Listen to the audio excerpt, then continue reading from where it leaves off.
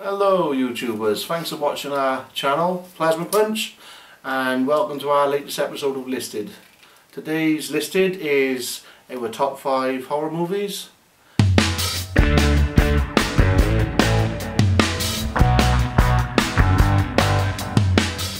Okay then Chris, so what's your number 5? Oh, number five for me is Drag Me to Hell.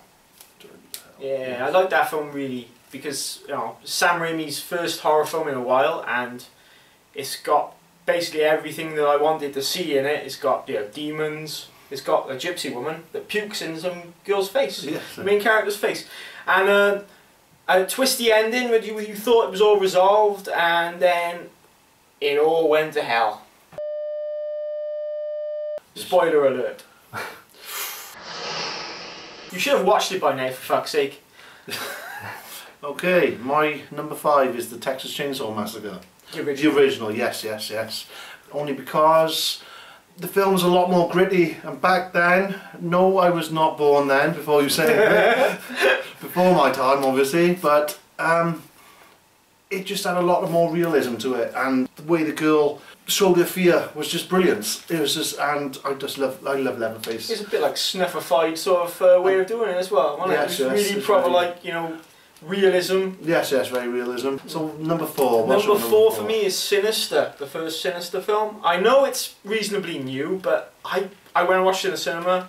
It's quite original. It was is. it was like oh my god. Seriously, that sounded weird, but I actually screamed a little bit, like when he jumped, when, oh, when, you know when Ethan Hawke goes up into the attic and he sees those all the kids there, and his head just drops in front of him. Yeah. Yeah, I pooed myself a little bit. Put yourself I in did a little, little pop, a little turn out So it was, it was quite an original yeah. scare It was, it was, but it was a story. The the actual character, the the, the boogeyman character as well. I thought really, well, it was awesome. Yes. It just really scared the crap out of me. And yours is?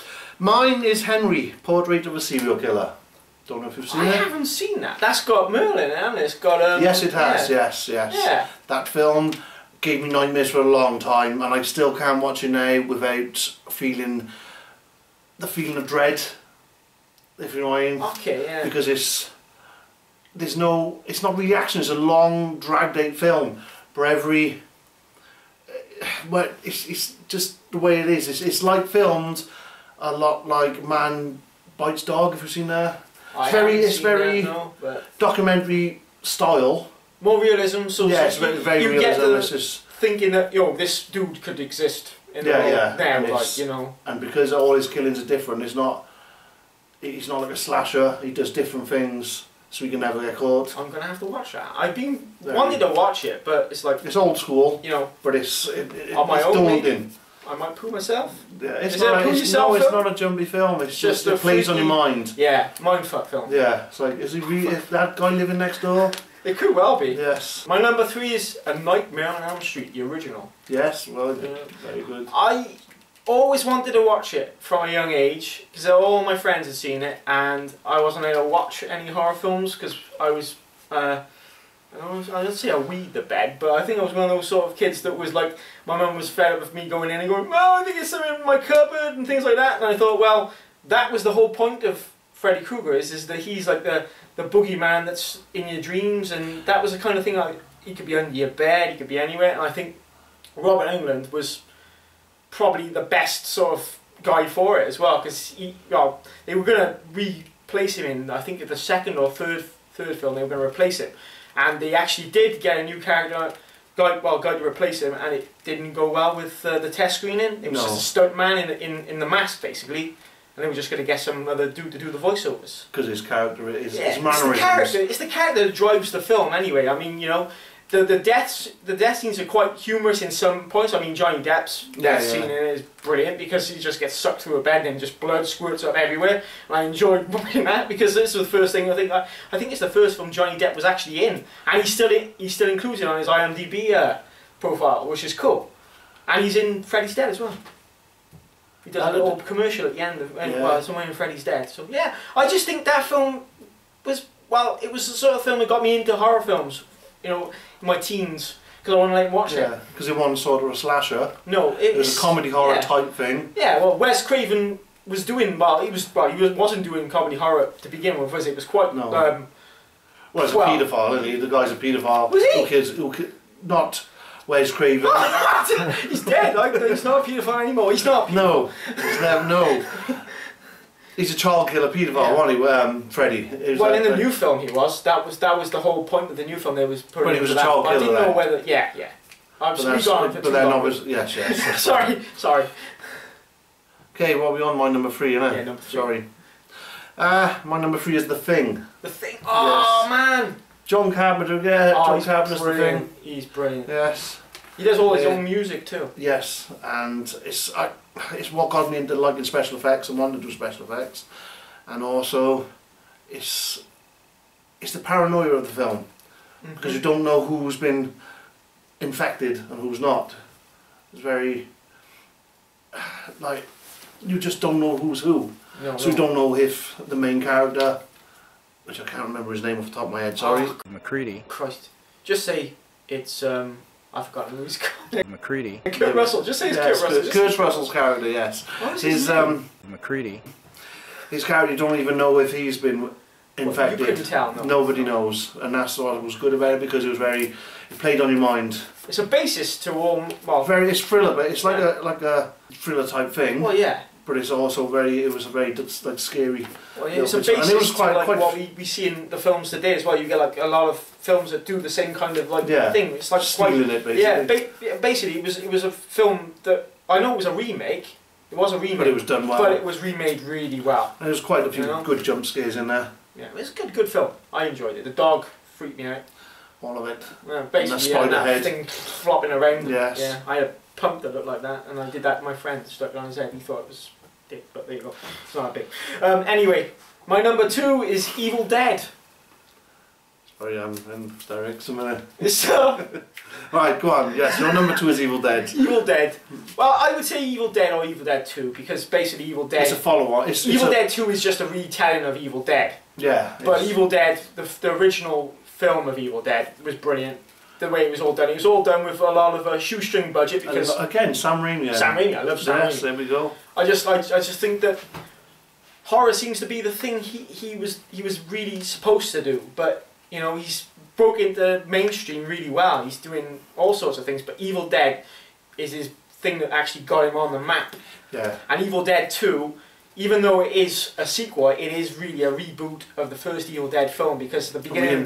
Yeah, it's, it's just a re, the, the beginning of the film is the same basic basis to the, to the first Evil Dead, but then you get like a lot more comedy in the second one. I think to, to be fair, that you know Bruce Campbell, B movie star, fucking mega star, really he does does Yeah, really yeah. well. Like in the film, it's it is it's amazing. I, I don't know. I just love that film.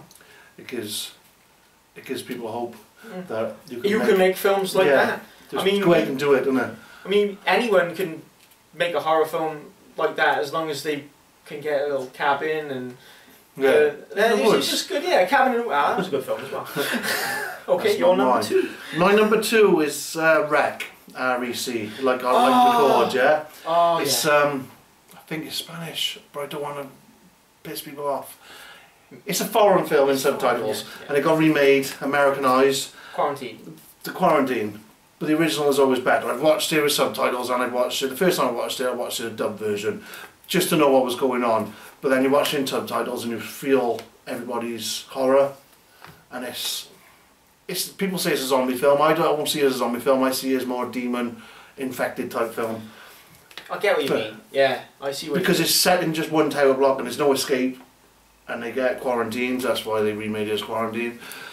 Um, but yeah, that that was probably one of the best horror films I've seen ever. It's, I haven't seen Rec, but I've seen Quarantine, and I It's thought been almost that, that shot. wasn't that wasn't too bad. Like I mean, you know, that film, but like I wouldn't mind watching the, the Right. foreign, the, you know, yeah, yeah, that'd be just- It's just a better experience. and it's a lot more films. They they've done a lot more with that, haven't they? They've done Yeah. they've done a few more of them. I think it's four now Yeah. they've done. Yeah, I've seen Rec 1 and 2, and the third one I think is on a boat, and then Rec, uh, Rec 4, Sorry. I can't remember what it's called, the subtitle for it. uh, a rebirth or something like that. Something, Something like that. reborn or something I think like it's going back to the. Yeah, it's like a prequel, isn't it? Like a Yeah. to it, I think. Yeah.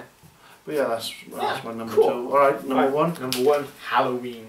Oh, sorry. yes, Yeah, mine yeah, number yeah, one. yeah, right. That's my number one as well. Personally, John Carpenter, I mean, the guy's a legend when it comes to horror movies, you know. I mean, Wes Craven, yeah, he's a legend too, but John Carpenter is like the, the grandfather of horror for me. I know there's like a few other people. There's Romero, but that's zombies, Yeah, isn't it? and Dario Argento and people like that, but I don't watch his stuff because there's a lot of like Very weirdness to it. strange. Yeah. Yeah. But um, like yeah. Halloween, it's just it's just got everything that you, you, you like. Slash slash a movie. It's got suspense. Jamie Lee. Curtis is in it, and she's quite tasty in that. To be fair, Well, the don't see any boobies in it though, except for that one girl. Yeah, Which is it's good. all about the boobies. Yeah, it's obligatory tit shot. Yes. But I mean, the the music is another thing that, that really gets you as well. You know music. he's going to kick Yeah, ass. and it could be real as well, because I mean, you know, there's a lot of freaky people out there, and that could be a real guy as well. Yeah. You know, I think that's probably what people want these days is more realism. Did you like the remakes? The first one's Halloween, let's go okay. The first one's okay. I think with that, the origin story, they do tell an origin story in It's a the. bit long-winded though, the uh, remake. Yeah, it is. But like, I mean, the second one, I didn't Strange. didn't know what to do with that one because the second original Halloween, it was like I didn't mind it, but it was like I didn't like the fact that it was literally straight after the film. Do you know what I mean? Went straight into the into the yeah. next film. Do it's a I totally different mask. Yeah, Different. but I, I just Do you know how many people played Michael no, I Myers? Don't know. No, Three people, I think. Please don't kill me. Please. he's not real. no, no, no Michael Myers. They've got the fans. Oh, William Shatner because it's Yeah. his face. And do you know, it- not do you know the mask as well? It was it? um, it was all fully painted, and then it got rubbed off. Obviously, where he's pulling all the time. So it was mostly white, and then you've got the skin colour around there from when he's because he was spray painted the mask. He spray painted himself. I didn't know that. And yeah, it was William Shatner's obviously turned Face, yeah, yeah. But, um, yeah, I could go in for hours about Halloween. Sorry. I like Halloween. Anyway, there we go. Thank you Yeah, very much. That's our horror films, our top five horror films. Went on a bit. I'm sorry for boring everybody. I'm sorry if I offended anybody. I'm sorry because I would have probably offended somebody. I've offended myself. Thanks for watching, and if you liked the show, please comment, like, and subscribe. Thank you. Yes. Sorry.